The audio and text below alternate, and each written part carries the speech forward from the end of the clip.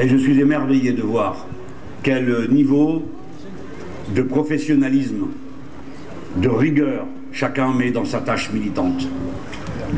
le militantisme politique est une chose sérieuse.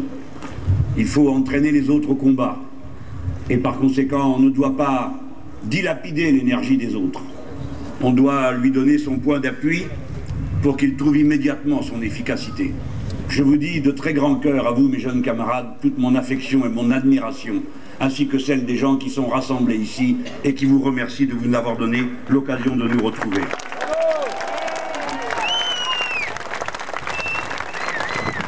En plus, il y avait intérêt que ça marche. C'est la première fête du front de gauche dans tout le pays. Il n'y en a jamais eu d'autre nulle part.